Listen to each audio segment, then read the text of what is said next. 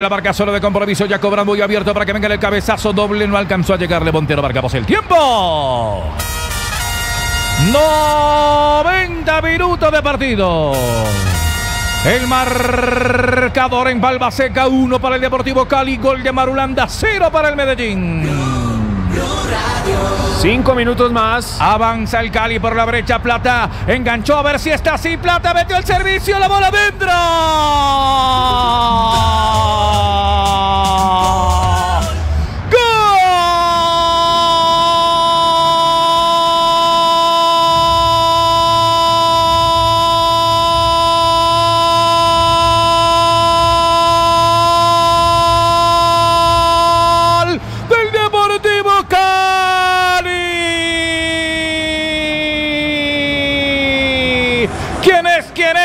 Montero. Plata por la derecha. Plata que esta vez tomó la mejor decisión y Montero que la emboca. Montero que la mete para el segundo. En tiempo de adición Cali tiene dos Montero.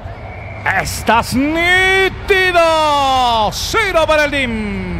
Si le digo que es un jugador particular también es por estas cosas, porque las jugadas más complicadas las puede resolver con una genialidad. Primero Marulanda que va y puede apretar la salida de Medellín para hacerlo equivocar y después ceder para Plata que por derecha tira el balón largo para eliminar con ese pique a Aja y colocar después el pase para Montero que iba entrando que se lanza en plancha para colocar el 2 por 0 del Deportivo Cali. Esta vez sí, profe, la contra estuvo bien resuelta. Le, gusta lo, difícil, no lo fácil. A, Plata suele tener mejores resoluciones en momentos más difíciles y no en momentos más pare- aparentemente más cómodos, ¿verdad? Que, que todo el mundo ve que es evidente que la jugada puede tener una fácil resolución.